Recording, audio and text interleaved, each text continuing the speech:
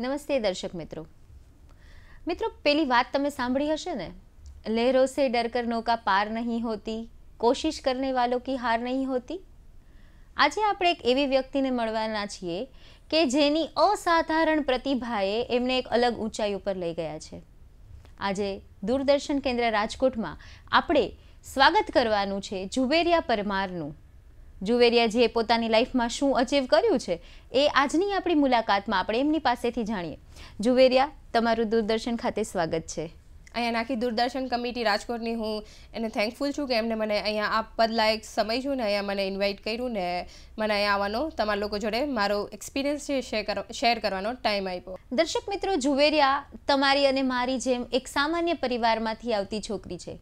જે ગુજરાતના જામનગરના શહેરમાં આવી અને પોતે કેવી રીતે આજે યુએસએમાં પીએચડી કરે છે. તો આ જર્નીને આજે આપણે જાણીશું, પણ એના માટે આપણે જુવેરિયા વિશે જાણીએ કે એમનું બાળપણ કેવું રહ્યું. જુવેરિયા, અમને સૌપ્રથમ એ જણાવો કે તમારું બાળપણ ક્યાં વીત્યું અને કેવી રીતે વીત્યું? આપના પરિવારમાં કોણ છે? જ્યારે મેં મારું ઇન્ટ્રોડક્શન આપ્યું, એમ કહ્યું કે અમે લોકો પાંચ ભાઈ બહેન ને અમારા મમ્મી, ડેડી, અમે બધા સાતેય જણા એક સામાન્ય પરિવારમાં રહી છીએ રીતે. તો હું મારું મારું સૌથી પહેલાં એજ્યુકેશનથી સ્ટાર્ટ કરું, તો હું મારી જે સ્કૂલિંગ છે, મારું જે એલકેજીથી લઈને આપણે ટ્વેલ્થ ગ્રેડ સુધી હું ત્યાં કોન્વેન્ટ સ્કૂલમાં ભણી છું, જામનગરમાં. અને મારી મેં બેચલર ઓફ સાયન્સ કર્યું છે ફિઝિક્સમાં. એ બી મેં ત્યાં સૌરાષ્ટ્ર યુનિવર્સિટીથી એફિલિયેટેડ હતી વિદ્યાસાગર. હું એમાં કર્યું છે. અને પછી મેં બેચલર ઓફ સાયન્સ ફિઝિક્સમાં કરીને પછી મેં માસ્ટર ઓફ સાયન્સ ફિઝિક્સમાં કર્યું. એ હું કર્યું અહીંયા પ્રાઇવેટ યુનિવર્સિટીમાંથી, આપણે રાજકોટમાંથી. ની રીતે બસ ધીરે ધીરે મારે જે લાઈફમાં ટર્ન આવ્યો એ ટેન્થ પછી ધીરે ધીરે જેમ મેં દસમું ક્લિયર કર્યું એ રીતે ધીરે ધીરે અપ એન્ડ ડાઉન આવતા રહ્યા ફેલિયર બી આવી છે ને સક્સેસ બી આવી છે. પણ એ રીતે આજ મને અપ ડાઉન થતાં થતાં મને અહીંયા યુએસ તક પહોંચાડી દીધું છે. તો મારે એ જાણવું છે જુવેરિયા કે પ્રાઇમરી એજ્યુકેશન તમે જામનગરની એક સામાન્ય સ્કૂલમાંથી લીધું છે. તમારું જો હાયર એજ્યુકેશન જોઈએ, કોલેજ અને માસ્ટર્સ છે તમે અહીંયા કર્યું છે. તો હવે તમને વિચાર કેવી રીતે આવ્યો? તમારે સૌથી પહેલાં તો મને એ કહો કે સાયન્સમાં જવાનું કારણ શું છે? શું કામ તમે આ સ્ટ્રીમ પસંદ કર્યું? તો હું એ ક્વેશ્ચન પરથી કહું કે હું જ્યારે એઇટ હતી ત્યારે મને એક હું જ્યારે લોકોને જોતી ત્યારે કે જ્યારે મારા સ્કૂલમાં બધાને પ્રાઇઝ ને બધું આપતા, ત્યારે મારામાં બી એક હતી કે ના, મારે બી એવું કંઈક કરવું છે. કે બધાથી અલગ બી હોય ને, મારા પેરેન્ટ્સ છે, મેં હંમેશા કઈ બી વસ્તુ લાઈફમાં કરી છે એ મારા મા બાપને હંમેશા આગળ મૂકીને કરી છે. કે કઈ બી ડિસિઝન લઉં લાઈફના એને કોઈ દિવસ એ વસ્તુ નુકસાન ના પહોંચવી જોઈએ. તો હંમેશા ત્યાં મેં લોકોને જોયા તો મને એક દિવસ એમ થયું કે હું ડૉક્ટર પાસે હોસ્પિટલ જતી હતી તો મને એમ થયું કે હું બી ડૉક્ટર બનીશ એ રીતે એમ. પણ પછી લાઈફમાં તમને જેમ તમે હવે એજ્યુકેશન ફિલ્ડ એવી છે ને કે તમે જેમ એની અંદર ધીરે ધીરે ઉતરતા જાઓ ને, તો તમને આઈડિયા આવતું જાય કે તમારા માટે શું પ્રોપર છે ને શું નહીં. હવે હું જાણે તમને કહું કે હું મારું એસએસસી જાય કે ટેન્થ સ્ટાન્ડર્ડ મેં જેમ પાસ કર્યું, હું એ રીતે બી ગ્રુપ રાખ્યું બાયોલોજી રાખ્યું ને હું ઇલેવન ટ્વેલ્થમાં આવી. હાલાકી મારી ટ્વેલ્થ સાયન્સ પછી નીટે ક્લિયર છે. તો હું ઇલેવન ટ્વેલ્થમાં જેમ આવી, તેમાં મને અમારા લોકોને પેલું ડાયસેક્શનનું ને બધું આવે. તો મને એમાં આઈડિયા આવી ગયો કે આપણે ડૉક્ટર માટે બનેલા નથી. કારણ કે તમને હવે નાની વસ્તુથી તમે કદાચ બી જાતા હો તો પછી એમાં તો તમે સર્જનને બનો, તો એ વસ્તુ તમારા માટે યોગ્ય યોગ્ય નથી રીતે, કે તમે નાની નાની વસ્તુ, કે તમે ડાયસેક્શનને કાપવાનું કરવાનું હોય, તો ઇટ્સ બેટર કે તમને એ ફિલ્ડમાં તમને ખબર છે કે આગળ જવાનું જ નથી, તો પછી એ રસ્તો ના કરો. ને પછી હું ધીરે ધીરે ફિઝિક્સ બાજુ ઇલેવન સાયન્સમાં ઇલેવન સાયન્સમાં તો મારો ગોલ એ જ હતો કે હું ડૉક્ટર બનીશ. પણ પછી જેમ ટ્વેલ્થમાં આવી એ રીતે ધીરે ધીરે મારો ઇન્ટરેસ્ટ ચેન્જ થતો ગયો. કારણ કે લાઈફમાં તમે ફિફ્થ સ્ટાન્ડર્ડમાં કે પાંચમા ધોરણ આપણે કહી શકીએ, તમે શું નક્કી કરો છો એ તમે એવું નથી પોસિબલ કે તમે છેટ સુધી એ જ તમારું ઇન્ટરેસ્ટ રહેશે એ રીતે. કારણ કે તમે જેમ લાઈફના તમને અનુભવ મળતા રહેશે, એમ તમારો ઇન્ટરેસ્ટ ચેન્જ થતો રહેશે. તો મારો ફિઝિક્સમાં ઇન્ટરેસ્ટ આવ્યો કે મારે હવે બેચલર ઓફ સાયન્સ કરવું છે, તો ફિઝિક્સમાં એ મારો ટ્વેલ્થ પછી ચેન્જ થયું. કે ટ્વેલ્થમાં આવીને મેં ડિસાઇડ કર્યું કે હવે મારે ડૉક્ટર સાઈડ નથી જવું, મેં કીધું, મારે હવે જવું છે આ બાજુ સાયન્સ બાજુ ને ફિઝિક્સ બાજુ. પણ ત્યારે મારું રિસર્ચ એ હતું એ ડિફાઇન નહોતું. હું જસ્ટ એક સામાન્ય છોકરીની જેમ કે મારે બેચલર ઓફ સાયન્સ ફિઝિક્સમાં કરવું છે બારમા પછી તો હું એ રીતે બારમા પછી ત્યાં બેચલર ઓફ સાયન્સમાં ફિઝિક્સમાં હું એ એડમિશન લઈ લીધું હતું. તો આ મને તો એ પ્રશ્ન થાય કે સાયન્સની વાત કરીએ તો એમાં પણ લોકોને ઓછો ગમતો વિષય જો કોઈ હોય તો એ છે ફિઝિક્સ કારણ કે એ યાદ રાખવો અને સમજવો કમ્પેરેટિવલી અઘરો હોય તો તમે તો વિષય જ થોડો અઘરો પસંદ કર્યો. હવે એમાં પણ આપ જેમ જણાવો છો એ પ્રમાણે કે ગ્રેજ્યુએશનમાં તમારે કોઈ એવો ગોલ ફિક્સ્ડ નહોતો. તો માસ્ટર ડિગ્રીમાં પહોંચીને તમને વિચાર આવ્યો, કેવી રીતે નક્કી કર્યું કે હવે મારે પીએચડી કરવું છે આમાં? હા, તો હું હવે એ પ્રશ્નનો ઉત્તર આપું. તો એમાં એવું છે કે હું એ બેચલર ઓફ સાયન્સ ફિઝિક્સમાં તો એડમિશન લઈ લીધું. મારા ફ્રેન્ડ્સ બી આજે બી મારી મજાક ઉડાડતા હોય છે કે તે કરી કરીને ફિઝિક્સમાં જ કર્યું. કારણ કે ફિઝિક્સ તો ફર્સ્ટ પેજે ઓપન કરવું એટલે લોકો ક્લાસમાં સૂઈ જતા હોય. કારણ કે ફિઝિક્સ એટલે બહુ અતિશય લોકોને બોરિંગ સબ્જેક્ટ લાગે. હું મારું ખુદ કહું તો અમે લોકો હું જે કોલેજમાંથી બીએસસી કર્યું તો અમે એટલીસ્ટ ખાલી કેટલા દસ વિદ્યાર્થી હતા. આખા ફિઝિક્સમાં ને જ્યારે તમે કેમેસ્ટ્રી બાયોલોજીની બ્રાન્ચ લ્યો તો એમાં તમને બલ્ક મળે લાઈક હંડ્રેડ હંડ્રેડનું બલ્ક મળે. અને જ્યારે તમે ફિઝિક્સમાં જાઓ તો અમે જસ્ટ ખાલી દસના સ્ટુડન્ટ હતા કે ગણી લ્યો ક્લાસમાં બેઠા હોય તો એ રીતે એમ. તો હું પછી બેચલર ઓફ સાયન્સ પછી મારે હતું કે હવે હું ગુજરાત ફોરેન્સિક સાયન્સ યુનિવર્સિટીમાં એડમિશન લઉં. તો પછી હું એની માટે એન્ટ્રન્સ એક્ઝામને એની માટે પ્રિપેરેશન કરતી હતી. તો એ એક્ઝામ ક્લિયર થઈ ગઈ. પણ પછી મેં મારું, મારી લાઈફનું હંમેશા એમ એવું છે કે હું થોડુંક લાંબુ વિચારું છું એ રીતે એમ. કે એના પાંચ વર્ષ પછીનું એસ્પેક્ટ શું હંમેશા? તો હું હંમેશા એ વસ્તુ ચાલીને માનું છું કે ભાઈ પાંચ વર્ષ પછી બી એ વસ્તુ રહે હવે મારે સપોઝ હું ફિઝિક્સ બેકગ્રાઉન્ડમાંથી હતી, તો હું રિસર્ચમાં ને એ રીતે જઈ શકતી હતી. તો પછી હું એ જીએફએસયુ ગુજરાત ફોરેન્સિક સાયન્સ યુનિવર્સિટીમાં મેં એડમિશન લીધું. પણ પછી મને એમ થયું કે મને આ ફિલ્ડનું જે આગળ ફ્યુચરના જે એના એપ્લિકેશન છે ને સ્કોપ છે, એમાં મને ઇન્ટરેસ્ટ છે નહીં. એટલે પછી મેં કીધું કે હું મારી સાય મારી જે ફિલ્ડ છે એને શું કામ મેન્ટેન ના રાખું. તો ત્યાં સુધી બી મેં માસ્ટર ઓફ સાયન્સ જ્યારે મેં લઈ લીધું પ્રાઇવેટ યુનિવર્સિટીમાં રાજકોટમાં એડમિશન ત્યાં સુધી મારા મગજમાં રિસર્ચનો કાંઈ વિચાર તો હતો જ નહીં. જે બધું રિસર્ચનું મારું ટર્ન આવ્યો લાઈફમાં એ બધો મેં જ્યારે આ યુનિવર્સિટીમાં એન્ટર થઈ ત્યારે હું અમુક લોકોને જ્યારે જોયું કે કામ કરે છે મારા પ્રોફેસરને કે હું એને જોયું કે એ એ આખો દિવસ આટલું આની પાછળ કરે છે મહેનત, તો આ છે શું એમ? એટલે પહેલાં તો હું શાંતિથી, એ અમારી ક્લાસમાં જસ્ટ એક જ વાર આઈતે એક જ સેમિસ્ટર લેક્ચર લેવા આવ્યા હતા. પ્રોફેસર શોભિત પટેલ એક જ વખત લેક્ચર લેવા આવ્યા હતા અને હું એને હાર્ડલી બે કે ત્રણ લેક્ચર અટેન્ડ કરી રહીશ કારણ કે હું લેટ એડમિશન હતી એ રીતે એમ. ને પછી એમનું મારું લેક્ચરનું પતી ગયું, પછી મને અમારો રિસર્ચ પ્રોજેક્ટ સિલેક્ટ કરવાનો આવે એ રીતે. પછી હું જ્યારે એમની જોડે કામ કરવાનું સ્ટાર્ટ કર્યું એટલે મને એમ થયું કે કે ભાઈ આ આટલું ઇન્ટરેસ્ટ કેમ લે છે? આ બધી વસ્તુ મને છે શું આમાં એ રીતે? પછી મેં ધીરે ધીરે ધીરે એના ઉપર રિસર્ચ કરવાનું સ્ટાર્ટ કર્યું, એ રીતે કર્યું. એટલે પછી હું જ્યારે એ ફિલ્ડમાં ઉતરી, ત્યારે મને એમાં ઇન્ટરેસ્ટ આવવાનું ચાલુ થયું કે ખરેખર આ ફિલ્ડ એક્સપ્લોર કરવા જેવી છે. તમારી વાતો સાંભળીને તો એવું લાગે છે કે તમે એક ધ્યેય નક્કી કરી લીધો છે કે લાઈફમાં આ અચીવ કરવું. પણ હવે જો આ વાત સાંભળી કે પીએચડી કરવાનો વિચાર રિસર્ચ કરવાનો વિચાર તમને આવ્યો, તો યુએસથી પીએચડી કરવું છે એ વિચાર કેવી રીતે આવ્યો? ડીએસટી એશિયન સર્બનો ગવર્મેન્ટ પ્રોજેક્ટ પાસ થયો બે વર્ષનો. જે યુનિવર્સિટી ઓફ મલાયા મલેશિયાના કોલેબ્રેશનમાં હતો ને આપણે નાનયાંગ ટેકનોલોજીકલ યુનિવર્સિટી સિંગાપોરમાં એમનો હતું કોલેબ્રેશન આ બંને યુનિવર્સિટી ગ્લોબલ રેન્કિંગમાં ટોપ હંડ્રેડમાં છે, બંને યુનિવર્સિટી તો પછી હું એ પ્રોજેક્ટમાં કારણ કે મારું એમએસસી પછી પીએચડી તો એમએસસીમાં મેં ફિક્સ તો કરી લીધું હતું લાસ્ટ યરમાં કે મારે પીએચડી કરવાનું જ છે એ રીતે.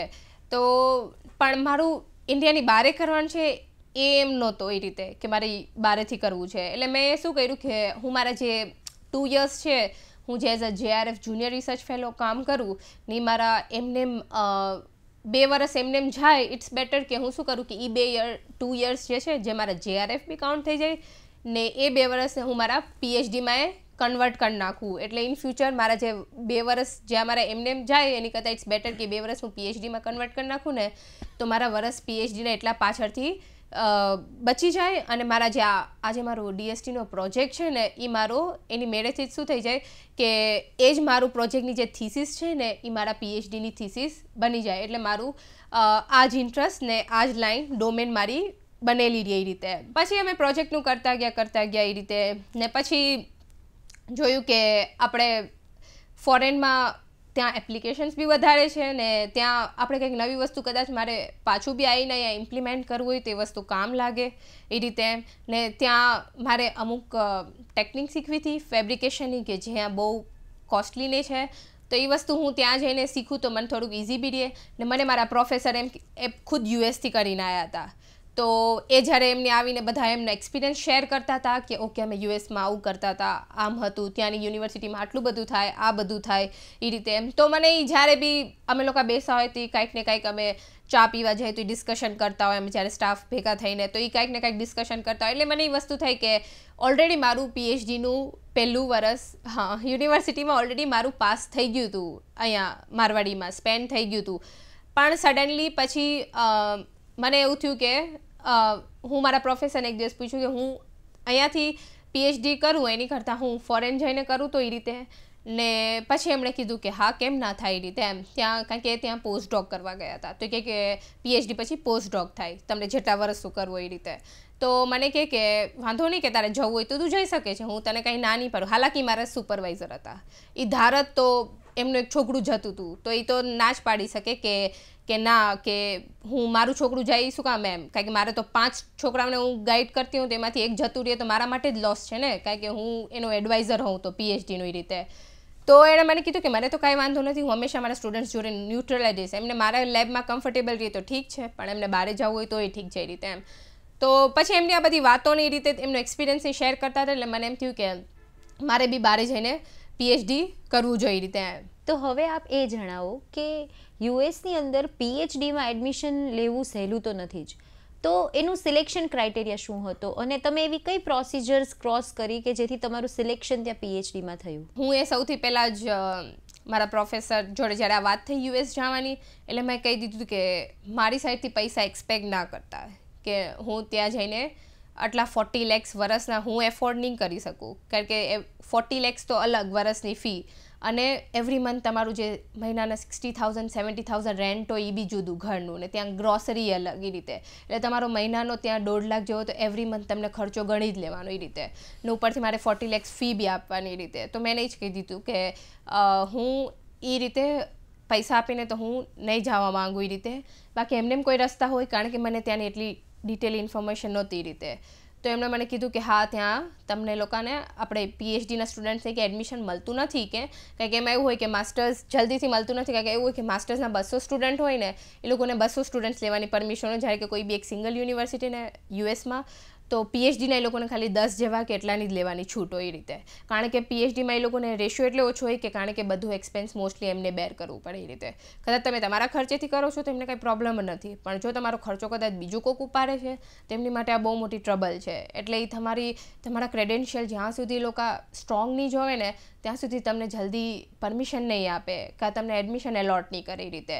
એટલે આ મારી ડિસ્કશન થઈ હતી એમની જોડે ને પછી એમણે મને કીધું કે, ના, ત્યાં તું તારું પ્રોફાઇલ હવે એમને કીધું કે તારો પ્રોફાઇલ હવે એટલો સ્ટ્રોંગ છે ને કે સ્ટ્રોંગ તો નહોતો એ. ટાઈમે અત્યારે મારો સ્ટ્રોંગ બની ગયો છે. મારા પબ્લિકેશન્સ અત્યારે થઈ ગયા છે. એટલે એ ટાઈમે જ્યારે મેં અપ્લાય કર્યું હતું તેમને કીધું કે જે નવો પીએચડી સ્ટુડન્ટ કદાચ બીજી યુનિવર્સિટીમાંથી અપ્લાય કરતો હશે ને તેના એટલીસ્ટ દસ પેપર તો નહીં જ હોય, જેટલા તારા પેપર છે એ રીતે એમ. તો એણે કીધું કે તું દસ બાર પેપરે તો અપ્લાય આરામથી ઇઝીલી કરી શકો છો અને એ તારી એપ્લિકેશન એક વખત તો કન્સિડર કરશે જ એ રીતે એમ. તો મેં કીધું, હા, ઠીક છે, વાંધો નહીં રીતે. ને પછી હું એપ્લિકેશનની જોવા માંડી બધી કઈ કઈ શું થાય છે એ રીતે કે એની માટે બધી એક્ઝામ્સ આપવાની હોય, એ રીતે તો હું મારા, જ્યારે મારું પ્રોજેક્ટ ચાલતું હતું, એ દરમિયાન હું બધી એક્ઝામ્સની તૈયારી કરવા માંડી. કારણ કે એડમિશન માટે દરેક વસ્તુને એક ક્રાઇટેરિયા હોય કે તમારા સીજીપી આટલા જોઈ તમારી લેંગ્વેજ સ્કોર એક્ઝામના આટલા સ્કોર જોઈ પછી તમારે બીજી એક્ઝામ્સ આપવાની હોય સપોઝ ફિઝિક્સમાં છું તમારે બે ટાઈપની એક્ઝામ આપવી પડે જીઆરઈ છે જીઆરઈ સબ્જેક્ટ છે. મારે એ બે એક્ઝામ્સ આપવી પડે.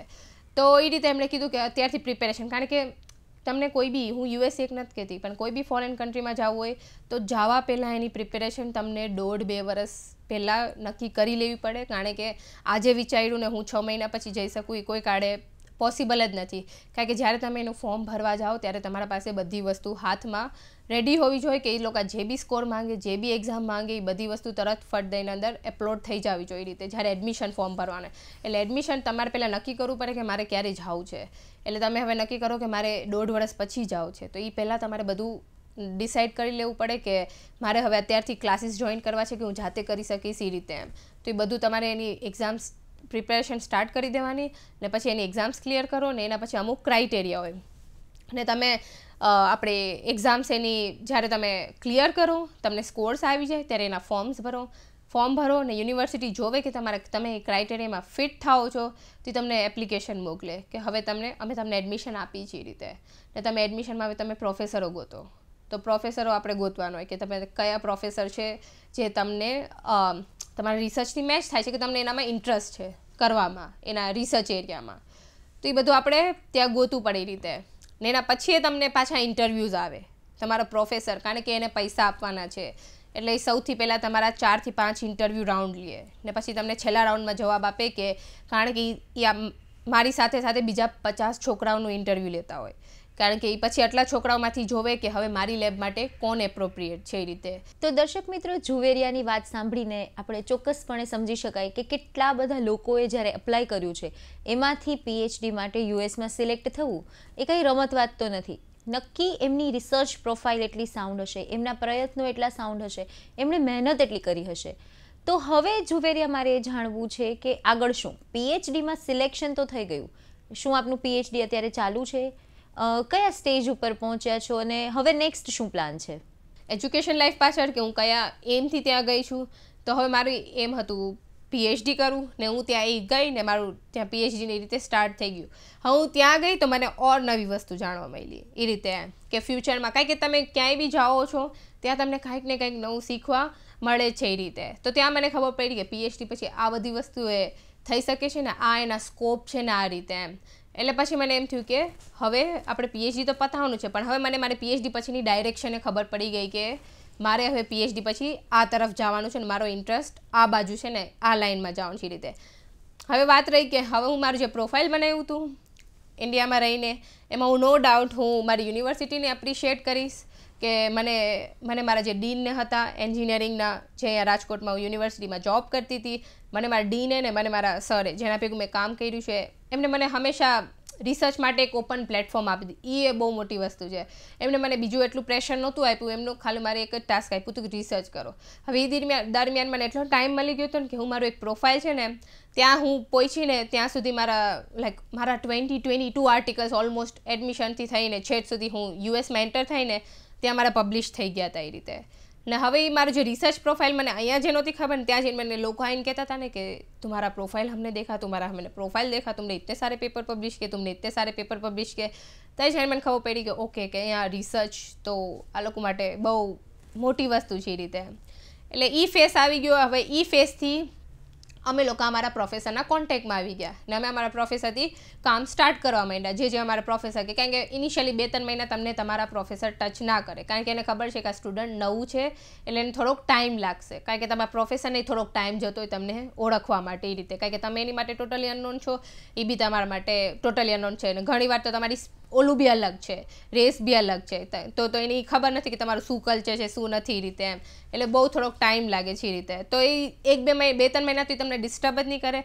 પછી મને જ્યારે પીએચડી મળ્યું જ્યારે હું બીજા સ્ટુડન્ટ્સે જોતી હતી, ત્યારે મને ખબર પડી કે મને મારા પ્રોફાઇલ ઉપર મને એવા બધા આજે પ્રોજેક્ટ્સ પર કામ કરવાની ઓપોર્ચ્યુનિટી મળી છે ને કે એ બધા એની યુએસની જે બી એની, એમની એજન્સી છે એમની જોડે કે મને આજ બી લાઈક હવે એ મારા રેઝ્યુમીમાં એ મારો લખાઈ જશે ને પ્રોફાઇલમાં તો એ મારા માટે એક એડવાન્ટેજ છે એ રીતે. તો એ મારી લાઈફમાં વિચાર્યું નહોતું કે પીએચડીમાં મને આવીને આટલું ઓપ્શન મળશે એ રીતે એમ. તો એ બી મારા માટે એક ઓપોર્ચ્યુનિટી હતી. દર્શક મિત્રો, ઝુવેરિયાની વાતો સાંભળીને આપણને સૌને એ વાતમાં એક વધુ વખત પ્રમાણ મળે છે કે જેણે એક વખત નિર્ધાર કરી લીધો છે, નિશ્ચય કરી લીધો છે લાઈફમાં કંઈક અલગ કરવાનો. એને પછી કંઈ જ અટકાવી શકે નહીં. જુવેરિયા અમારા ઘણા બધા દર્શક મિત્રો એવા પણ હશે કે જે તમારી જેમ જ ઘણા સપના જોતા હશે. મહેનત કરવા માટે તૈયાર પણ હશે. ક્યારેક યોગ્ય માર્ગદર્શન મળે છે, ક્યારેક નથી મળતું. પણ આવા યુવાનો કે જે લોકોને તમારી જેમ પોતાની કારકિર્દી બનાવીની છે, એ લોકોને આપ શું સંદેશ આપશો? તો હું મારા એક્સપિરિયન્સ પરથી અહીંયા સુધી પહોંચી તો હું એટલું જ મેસેજ આપીશ ને હું એમ કહું છું કે હજી પીએચડી તો મારું જસ્ટ એક બેઝિક લાઇસન્સ છે. પીએચડીથી મને કાંઈ બધું નથી મળી જવાનું. પીએચડી પછી જે મારી ખડી આખી, મારી બીજી જે જોબ લાઈફને સ્ટાર્ટ થશે, એ મારી અલગ લાઈફ હશે એ રીતે. એટલે મારું કેવું એમ જ છે કે તમે લાઈફમાં હંમેશા મહેનત કરતા રહ્યો. હવે સપોઝ ઘણા એવા છોકરા હોય છે કે જેમ કહેતા હોય કે મારું સપનું આ બનવું છે. તો હું એમ કહીશ કે કદાચ તમે નથી બની શકતા તો તમારી માટે કંઈક બીજી સારી, એના કરતાંય સારી વસ્તુ લખેલી હશે. તો તમે નથી મળી શકતા, તો પણ તમને એનો અફસોસ હોવો જોઈએ. હવે તમે એમ કહી દો કે નથી મળી તો હું આ મૂકી દઉં, કેમ મને કુદરતે આપ્યું એ રીતે. તમે કુદરતને બ્લેમ કરી જ નથી શકતા. તમને ખબર નથી તમારા માટે પાછળથી કઈ વસ્તુ સારી લખેલી છે. તો મારો મેસેજ, મેં અત્યાર સુધી જે શીખું મારી લાઈફના અપડાઉનમાંથી, મેં એ શીખ્યું છે કે મહેનત કરવાનું ના મૂકશો. તમે મહેનત ગમે તેટલી મહેનત કરશો ને એ તમને ક્યાંક ને ક્યાંક તો વચ્ચે આવશે જ એક દિવસ. નહીં, તમને મહેનત કરેલા દિવસો છે ને તમારા માટે બહુ ઇઝી થઈ જશે. જ્યારે તમને કાંઈક બી તમારા માટે એક સક્સેસ મળશે ને, તમને એક નાની સક્સેસ મળશે ને, તો બી તમારા માટે જે મહેનતના સો દિવસ જે તમે તકલીફના કાઢ્યા છે ને એ તમને બહુ સારા લાગશે.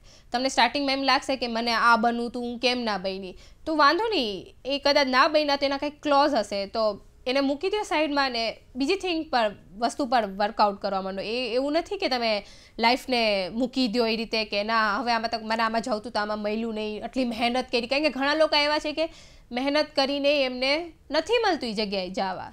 એ રીતે એમ. કારણ કે હું એક મુદ્દો આપું તો મેં, આપણે ડૉક્ટર એપીજે અબ્દુલ કલામનો જ મુદ્દો આપું છે. એમને એરોનોટિકલ એન્જિનિયરિંગ બનવું હતું એ રીતે. તો એમને જ્યારે એમનું સિલેક્શનની વારી આવી હંમેશા ટેન સીટ્સ હોય છે. પણ જ્યારે એમની સિલેક્શનની વારી આવી ને એમની વારી આવી, ત્યારે નવ સીટ જ ગવર્મેન્ટ એ ટાઈમે ડિક્લેર કરી. હવે એણે તો આટલી મહેનત કરી હતી. તો એ મહેનત પરથી તો થોડી ને એમને કીધું કે હું કેમ ના બની શક્યો. તો એણે, એને ધાર્યું હતું કે હું એક દિવસ તો હું પાયલટ બનીશ હું પ્લેન ઉડાડીશ એ રીતે. તો એ એ જ્યારે એને બનવું હતું ત્યારે બની ના શક્યા. પણ એને એક દિવસ ક્યારે શીખ્યું? જ્યારે પોતે પ્રેસિડેન્ટ બન્યા ત્યારે. અને ત્યારે પોતે ખુદ ઉડાડ્યું કે ના, હવે હું મારું ડ્રીમ હતું એ મેં અહીંયા પૂરું કરું છું એ રીતે. એટલે મારું કેવું એ છે કે મહેનત કોઈ દિવસ વેસ્ટ જતી નથી. મહેનત કરશો તો તમને એનું કાંઈક ને કાંઈક તો રસ્તો મળશે જ રીતે. એટલે મહેનત કરવાનું કોઈ દિવસ મૂકતા નહીં લાઈફમાં અને કામ સાથે હંમેશા ઈમાનદારી રાખજો. તો ચોક્કસપણે ઝુવેરિયા અમને સૌ કોઈને વિશ્વાસ છે કે પીએચડી તો માત્ર એક શરૂઆત છે. અને ભવિષ્યના દિવસોમાં અમે ઝુવેરિયા પરવારને, ઘણી બધી ઊંચાઈઓને, શિખરને સર કરતા જોવા ઈચ્છીએ છીએ ઝુવેરિયા આપે અમારા દર્શક મિત્રોને આટલી સારી માહિતી આપી. આપના ફ્યુચર એન્ડેવર્સ માટે, ભવિષ્યમાં તમે જે કંઈ પણ કરવાના છો, એના માટે અમારા સૌ કોઈ તરફથી તમને શુભેચ્છાઓ. અને દૂરદર્શન સાથે આજે આપણે આ મુલાકાત કરી, એના માટે ખૂબ ખૂબ આભાર.